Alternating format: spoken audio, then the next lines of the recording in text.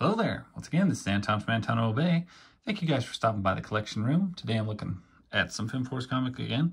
Um, as I progress through the series, we're getting up there in a few issues. And you can see this one is a little bit rough. Looks like the front cover has gotten pretty good banged up right there. Uh, banged up pretty good right there. Uh, we're looking at 37, 38, 39, and 40 today uh, which means uh, at four videos a piece, at four issues a piece is the 10th one of these uh, FemForce Comics videos that I've done. And we are in the black and white phase. Rad versus Mixed Victory. Miss Victory. Um, one is the daughter, one is the mother. Um, I think that rotates uh, which is which, but I'm not positive. Looks like our pencils today are John Nadeau, or Nadeau. And I'd say starting off, they're looking really good one million dollars. One million. sometimes, sometimes this comic just cracks me up.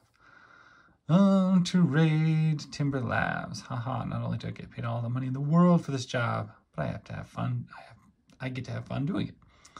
Uh, Latimer Labs in Bayport. I, I've seen this opening page before. Um, it comes up sometimes when you're looking for FemForce art. Kind of cracks me up just for how gratuitous it is. it is what it is. Um, I think this is the old Miss Victory album? Or Miss Victory outfit? Mm -hmm. It's jolly looking art.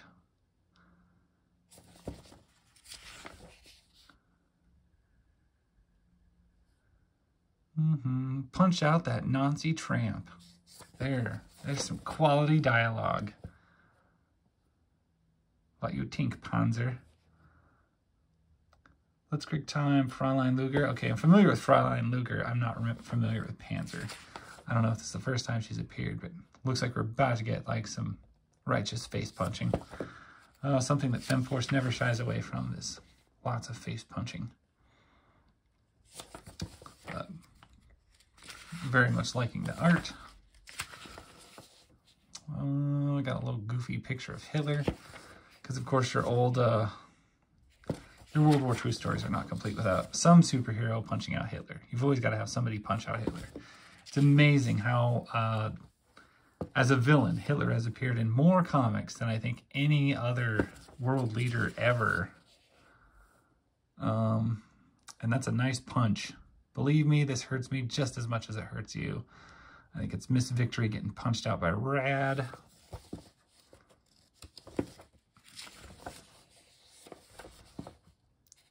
Hitler today, gone tomorrow. I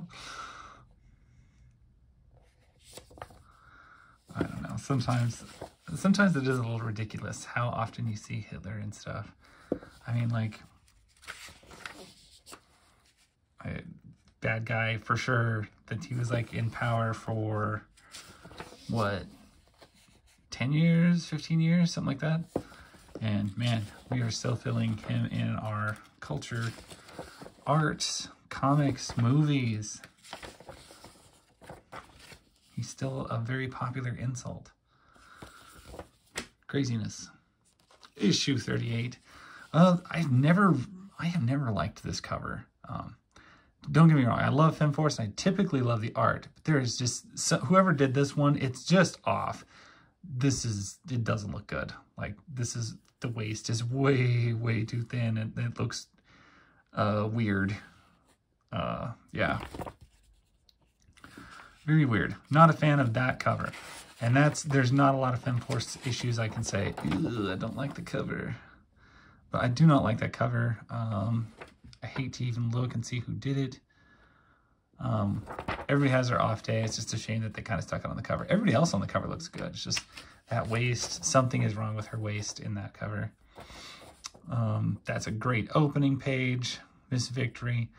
Of course, it would be so much better in color, you know, instead of as opposed to the black and white. But it is what it is. It's what we have. Um, but still, I think it looks great.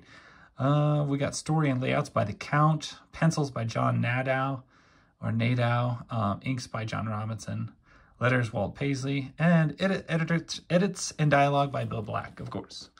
It's good job, guys, on that. Not in love with your cover, but uh, usually love the contents of your book. And this is some great looking art in here. I kind of like when they don't draw uh, She-Cat's eyes quite so crazy. Um, got a rad, rad stack of cash. Um, pencils, Bill Marion, Marimon. Letters, Walt Paisley. We got another story going on here. Um, once again, editor is Bill Black. So there you go. Story and layouts by the Count. Uh, still confuses me because I'm not sure like what the Count's name is. I just know that the Count is uh, listed here all the time. I'm assuming he just was working kind of under a pen name and doing doing other work other places and maybe didn't want his name all over uh, some of these independent books. But at this point, I can kind of only speculate as to who the Count is, or maybe he was just a really cool guy whose name was the Count, and we don't really know.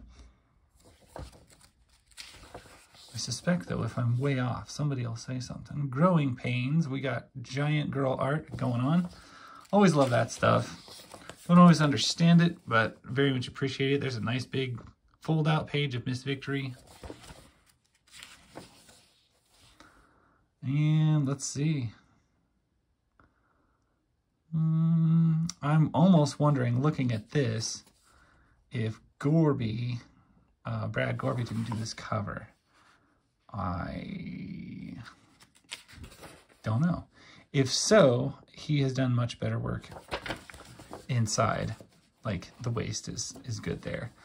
Um, I at one point um, had said his art looks a little bit, uh, oh, what's the word?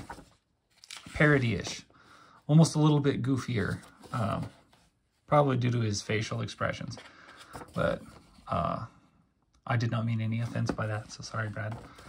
I just noticed that it was it was not quite as good, or that's not the phrase, not quite, I didn't like it quite as much as the previous artist, but it is all right. I'm pretty sure he was the writer on these things, uh, and or the uh, artist on these, uh, on the very first issues that I ever picked up. So, I mean, clearly I, it's not that, not that big of a turnoff to me, but um, I do notice a difference in different artists, and I know that there's some I like more than others. I just noticed, like, uh, yeah, the waist is a little bit thin, but it's not not anything like the cover. The cover is just weird. Looks a little off. The rest of it, I think, looks great. So, don't be mad at me, Brad.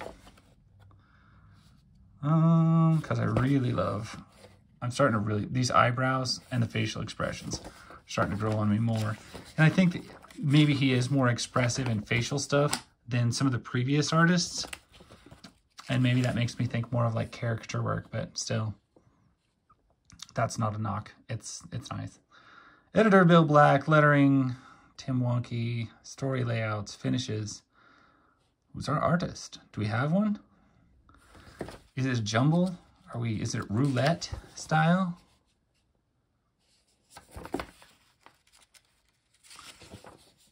Uh, it looks pretty awesome, actually. Um, she always looks just super creepy when they uh, make her eyes like that, where that sometimes they look a little more human.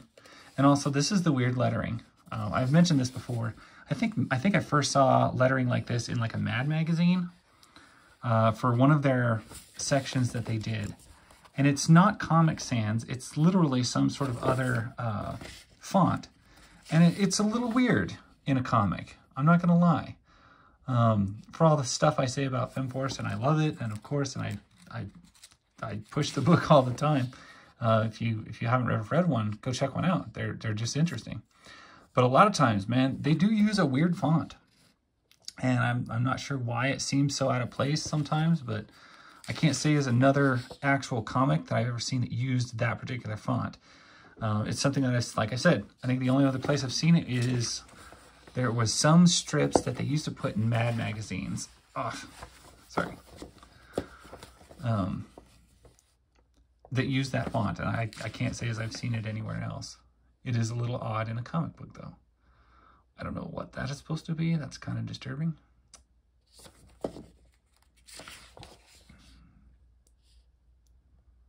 Mm-hmm. Yeah, you can always go down a weird path when you start fighting biological plants and things. And yeah, so she-cat with a, with a slightly more humane eye looks less demonstrous and weird than uh, she does when she's super, super wooded up. Dick Ayers on pencils, inks Chad Hunt. Um, gosh, this is, that, that is a little bit, that is a wonky looking picture of the Blue Bulleteer. I'm not gonna lie. Um, I, I, I hate to point it out when I see it, but sometimes when I see it, I'm just like, you know, that doesn't look very good. That's kind of wonky looking. And that definitely falls into the wonky category. I don't know what, what went wrong there, but it is what it is. Time, budgets, history, everything. I'm not going to knock somebody's art too hard. I do like pointing out when I see weird stuff because it makes me wonder if the artist had an odd day or an off day or just a time schedule or just something about the angle that they couldn't get quite right. Don't get me wrong, I'm not going to give anybody crap because I can't draw to save my life. But it is funny sometimes when you see something. I mean, I have seen stuff in Marvel Comics that I'm just like, really?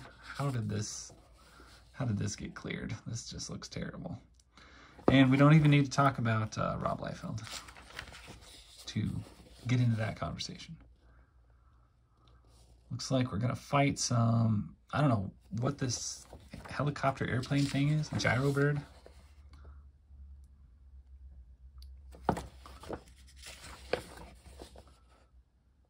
That's cool looking plane. Fem letters. Is that what it's always been called? Or did they change the name of the letter page? I don't remember fem letters. Yeah, I don't remember that at all. Uh, set those right there. Actually, I might leave them in order. No, that is in order. I do like that covered for 37.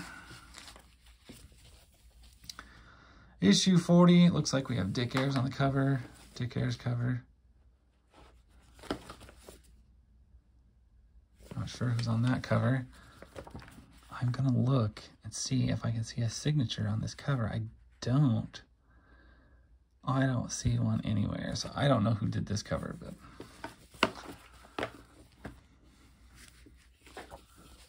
Anyway, we're on to this one. Dick Ayers did this cover. He does a lot of, uh, I don't know, like I, something about his art style reminds me of something, but I can't, I can't place what. Um, and it definitely has to do with the eyes he draws. It has a weird, um, I don't know, it reminds me of something I can't place. Let's see, this one finishes Mark Heike, uh, story art by Bill Black. So this is a Bill Black, both doing uh, double duty on the story and the art.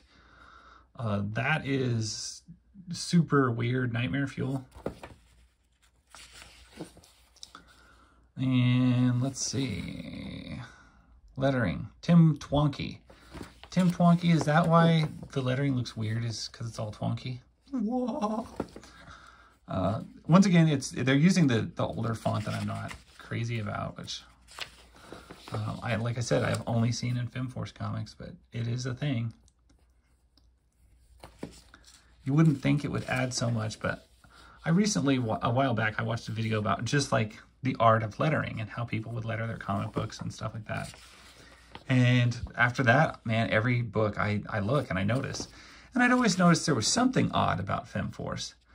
And then I realized that was one of the things, was their lettering is different, extremely different.